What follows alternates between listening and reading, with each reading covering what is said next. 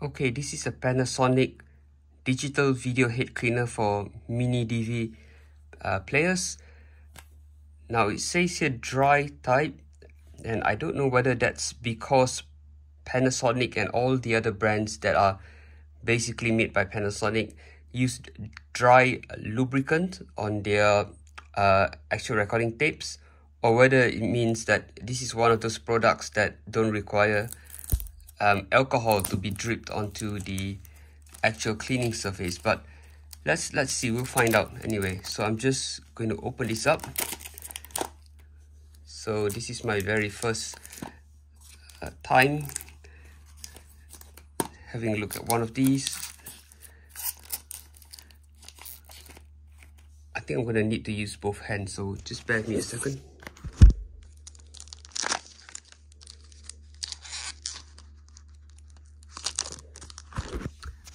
all right. Sorry about that.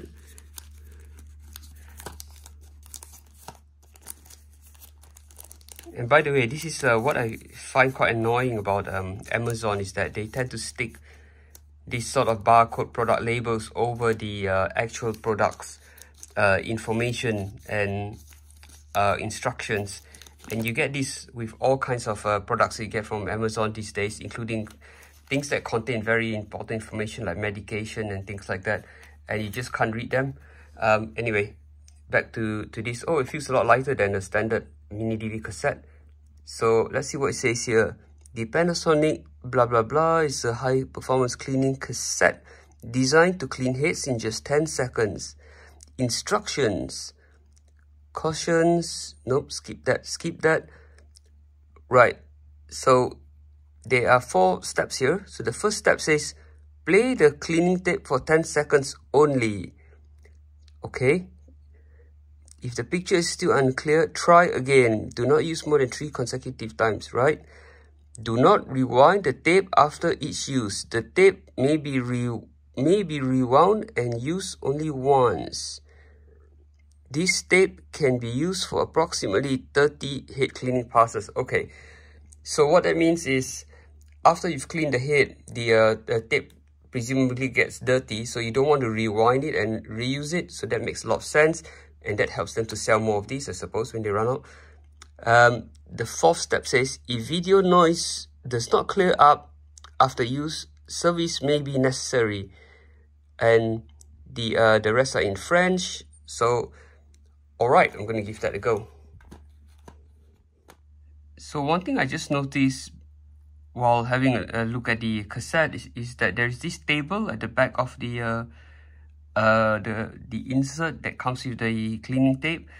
And there's some well it's in Japanese but I can see some chemical elements being listed there. So from left to right we see lead mercury cadmium uh what's that? Chromium and something called PBB and PBDE yeah, so I think this is basically explaining what kind of impurities the uh, cleaning tape is able to deal with. And one other thing is, uh, I just wanted to, to mention is when I flip the lid back, I noticed that uh, the actual cleaning media is just a black uh, tape and I don't know whether it works by magnets or or, or whatever. But I remember um, with standard VHS cassettes, there, there was a dry cleaning tape as well and that worked like magic um, and yeah you just play it once and it basically solves a lot of problems that the uh, wet clean tapes couldn't. Um, just before I, I proceed though, I just noticed that mini DV tapes have have these um, four contact points here. So um, I guess that's for more advanced uh, players or recorders to sort of read the information of the tape um, but yeah, there we go. So let me go grab the uh, actual camcorder and we'll give this a go. Okay, so if, you, if you're familiar with Mini DV, you probably heard the saying that you shouldn't mix brands of uh, tapes, but specifically, do not use Sony tapes. Um, okay, so if you're familiar with Mini DV, there's a saying that you shouldn't switch brands of tapes. Now, just keep in mind that, as I mentioned previously that all the other brands like JVC and TDK, etc. are all made by Panasonic. So you can probably switch between them, but not switch between any other brands and Sony because once again, Sony uses a wet lubricant system, whereas the uh, other ones made by Panasonic use a dry lubricant. So what I've got in here is actually Maxell tape, which is probably made by Panasonic. So um, well, because only Panasonic and Sony makes these tapes. So, uh, but um, I had I've had some issues using this tape because sometimes the videos that I've recorded just gets corrupted and I've got to record over them and all that. So I don't know whether it's a, I hope it isn't a fault with the camcorder, but given that I just picked this up today and it's quite an old one, I think it's worth um, giving it a clean anyway and using a new tape because the tape in, in here could have been in the unit for a very long time. Right, so let's get it out.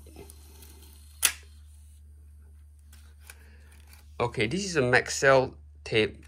I don't know how old this is, so that could be the cause of the uh, corruption. And now when we look at the uh, the uh, four little squares here, they are not conductive. These ones are plastic, so I have no idea what they are used for anyway.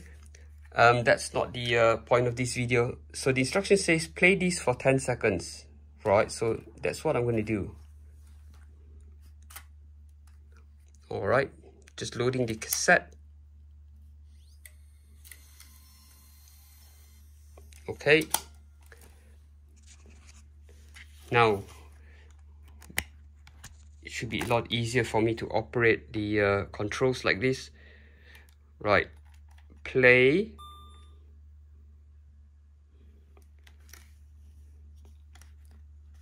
tell you what let me flip the uh, screen around so I can do this with one hand.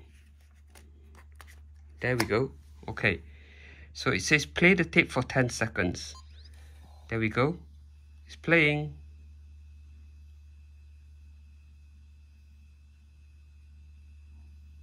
Well, there isn't a time code, presumably because it's a cleaning tape. So that's about 10 seconds now. So I'm to stop it.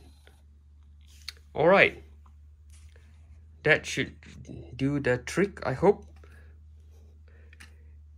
uh, yep just wanted to uh, demonstrate how to use this cleaning cassette yep thanks for watching